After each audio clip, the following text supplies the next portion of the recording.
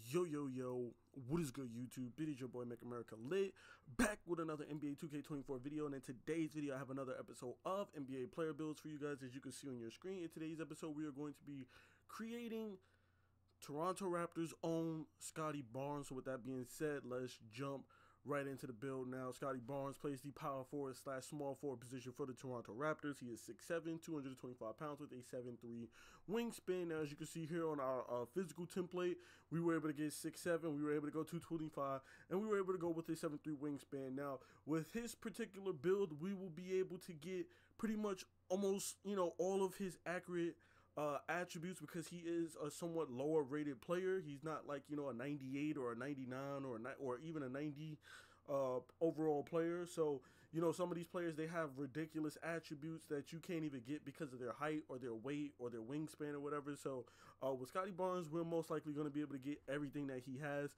and then some we're definitely going to have more badges than his actual build has making his build much better than you know actual Scottie barnes build but like i said again let's uh, get into the build 6'7 225 7'3 on the wingspan.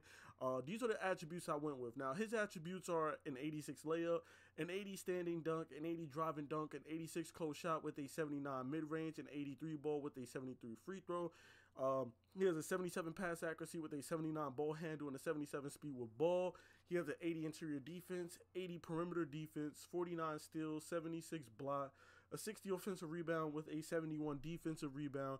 And then for his physicals, he has an 82 speed and acceleration with a 74 strength, a 92 vert, and an 88 stamina. So right here, as you can see, based on these attributes, I pretty much got most of his stuff. Um, for the finishing, we didn't go close shot just because close shot really isn't needed. Whether you have a 25 close shot or or 50 close shot, 66, it doesn't really matter. You're gonna finish all the same. I don't touch close shot at all, and I finish layups down low and shot standing layups and stuff. So I don't bother with close shot. Um, excuse me, 86 driving layup um, decent, more more than enough to get Hall of Fame Pro Touch, more than enough to get all of those layup badges on Gold or Hall of Fame. Besides uh, Whistle and Slithery, those are the only ones, and uh, Fearless Finisher, which I mean, you know, that's that's not too bad. I mean, that's only because we don't have the uh, layup needed.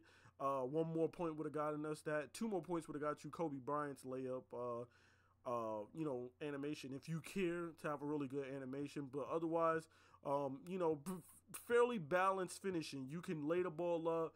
You can, you know, dunk the ball. You got some posterizer, some slithery. You got precision dunker. You got aerial wizard. Uh, you can catch lobs with this. You know, um, a pro uh, alley oop packages and stuff.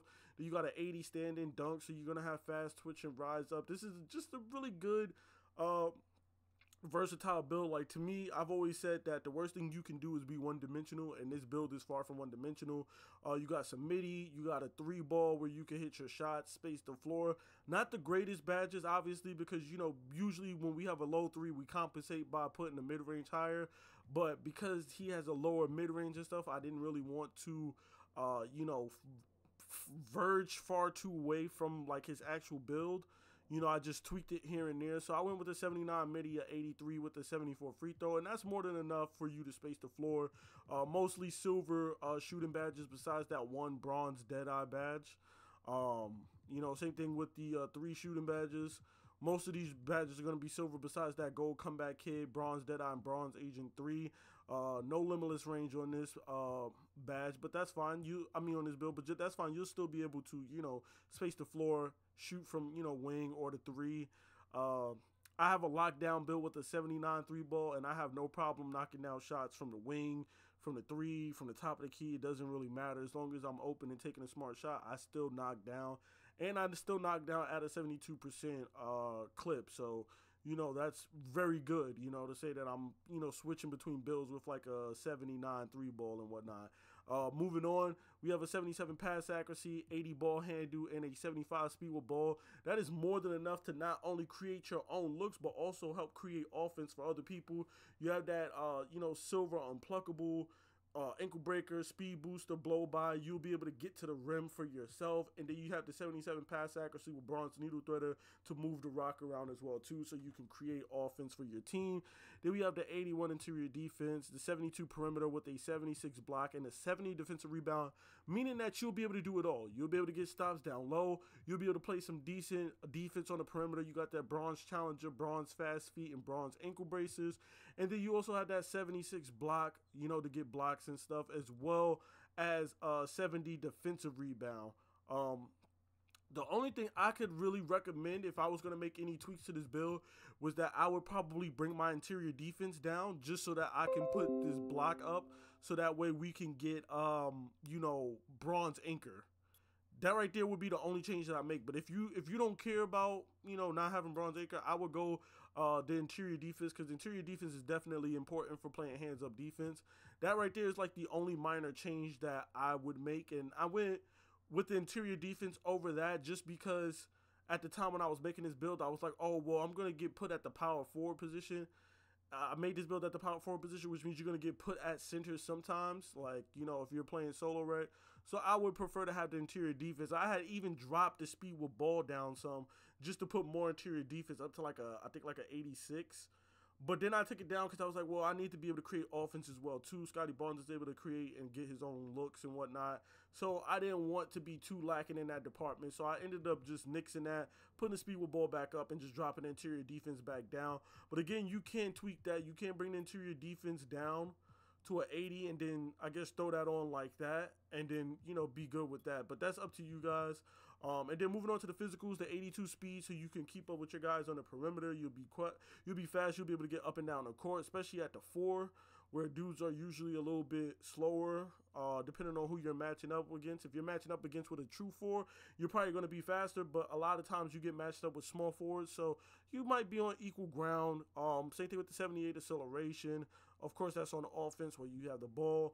74 strength, while not the greatest, is enough to play defense, get you know body up animations, bump people and stuff, and bang down low. It's not the greatest strength, obviously, but you're not going to really be expecting to guard centers or play centers. You know, this isn't like a a really good defensive build. This is kind of like an all around type of build. You could do a little bit of everything. You could rebound, you could shoot, you know, you could pull up, you could dribble, you could pass the ball, you could dunk could lay the ball up, you could rebound, you know what I mean? You could do a little bit of everything. And then finally the 90 vertical, and the 90 vertical was, was really going to tie this build together because that's the, one of the best things about this build is the physicals.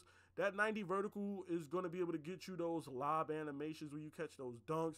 It's going to get you, you know, that 70 defensive rebound isn't going to feel like a 70 defensive rebound when you're jumping out the gym with a 90 vertical grabbing boards and stuff. So do keep that in mind as well too. You got bronze box out beast with bronze rebound chaser with a 90 vertical and a 70 defensive rebound, you're going to get boards. And if you look at that 76 block, you're going to get blocked, especially on a chase down, you know, with a 90 vertical. So that's important to look at as well, too. And then finally, the 93 stamina just to round up the build. We don't have um, high enough perimeter defense for 94 feet. And we also don't have a high enough ball handle for goal handles for days. So I cap my stamina at 93. If you don't, you can bring your free throw down, I believe. You can bring your free throw down to like 71 so you can keep that free points bad. And then you could just throw that onto your stamina if you want. I just went 93 because there's no point in going higher when you know, I'm not going to get any badges for it, workhorse handles for days or anything like that. So I leave it at that 93. If I had a 92 or 91 ball handle, then I would put that up to a 96 for goal handles for days. But since I don't, I'm going to just let it rock like that.